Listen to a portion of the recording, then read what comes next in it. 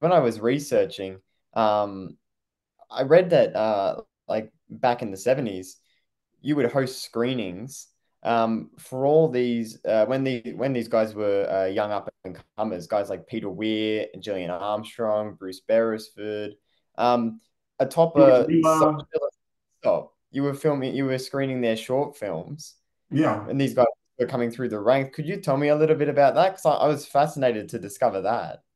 Well, you know, uh, you've grown up in a very different Australia in terms of movie making than the one I grew up in, because you take for granted that you can see Australian films and Australian stories delivered in the Australian accent. When I grew up, that was impossible. There was no Australian film industry to speak of. There are a few mm. films came and went. but They were mainly English productions, um, like Smiley Got a Gun or Robbery Under Arms.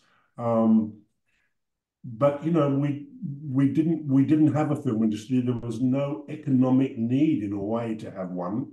Um, because the Americans uh, uh, made and owned made the films, owned the cinemas, and those that they didn't own were owned by British interests. Australians also suffered from a dreadful disease at the time, uh, which is called the was called the cultural cringe. Mm. It was a disease that grips a sufferer and convinces them when they look in the mirror that they needn't bother to make movies or to write plays or to write poetry, to write novels, that we're not good enough. The Brits can do it better, and so why bother?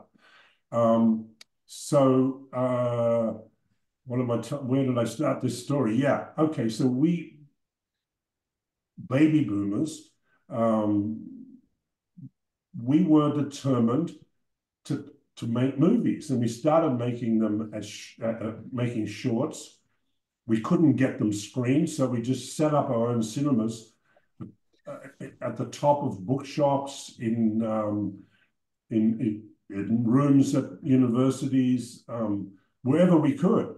And we found that Australians wanted to see themselves because Australians were like babies looking in the mirror, you know, oh my God, that's me. Wow. Wow, wow, wow.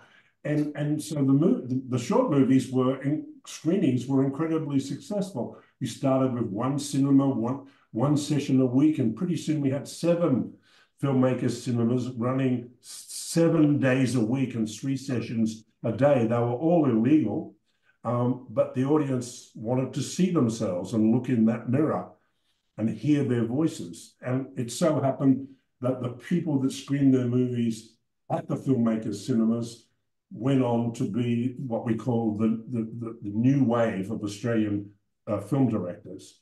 Peter Weir, Bruce Beresford, myself, Gillian Armstrong, um, George Miller, yeah. Paul Cox, um, and on and on and on.